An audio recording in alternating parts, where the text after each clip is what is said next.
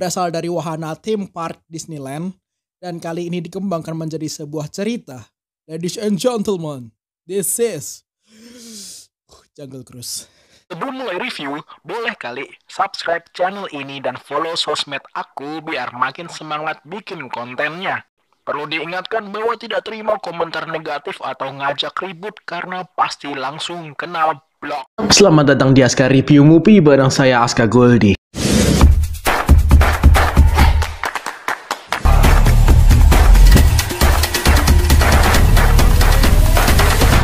That's a lot harder, lady. Here we go.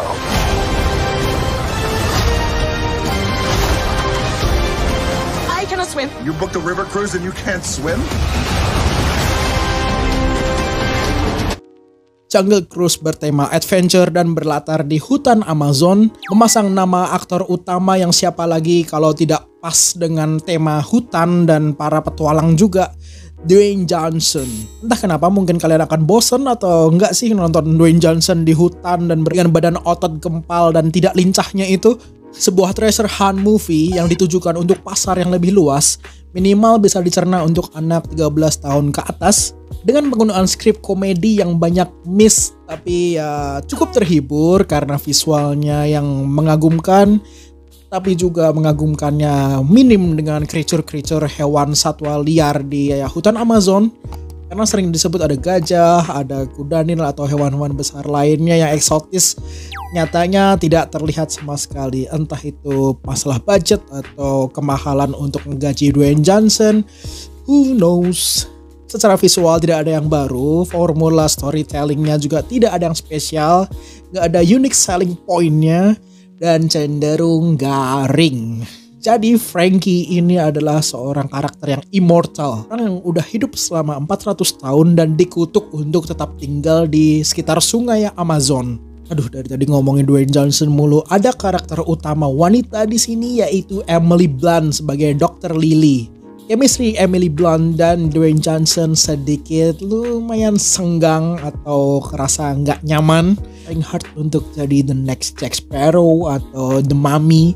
Tambahkan karakter gay siblings, adiknya Dr. Lily yang ternyata hanya sebagai campaign, hanya sebagai atribut untuk mengkampanyekan sesuatu kalau dia jatuh cinta dengan elsewhere atau ya apalah itu jujur nggak terganggu dengan orientasi atau apa pun tapi karakternya yang cukup mengganggu karena hanya sebagai pelengkap dan membebani petualangan atau mungkin memang itu yang diperlukan harus ada beban di petualangan itu.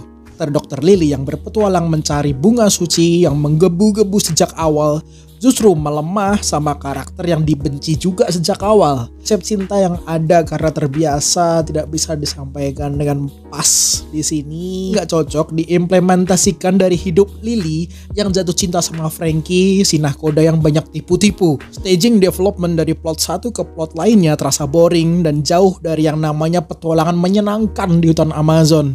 Kita diajak untuk keliling uh, hutan Amazon dengan cruise-nya Frankie kelihatannya bahkan membosankan seperti yang dilakukan oleh turis-turis awal adegan gak ada seru-serunya dan jatuhnya sih bete bahkan pengen minta refund gitu dari tour sungai Amazon itu sebuah popcorn movie dengan penjelasan petualangan yang cukup kompleks. Sebenarnya banyak genre sejenis macam Dora the Explorer, National Treasure, The Mummy, Indiana Jones. Justru film-film yang aku sebutin tadi lebih menyenangkan dan lebih memorable dibandingkan film Jungle Cruise ini.